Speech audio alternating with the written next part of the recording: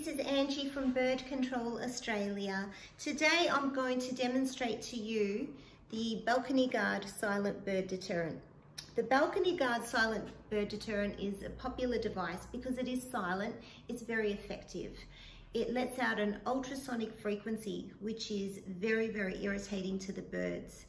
The ultrasonic sound waves are between 15 to 25 kilohertz, which is slightly above human hearing range. So there is a very small percentage of people that can hear it, but the majority of people do not. Extremely effective, especially on pigeons, swallows, and a range of other birds. The cover comes off very easily. You can put four C-size batteries in it, rechargeables, or you can plug straight into AC power. It has a 10 meter cord and all you need to do is turn it on. Sometimes it makes a chirping sound when you turn it on.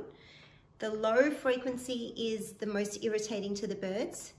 And the only way you know that it's on is because this red light comes on initially and then turns off.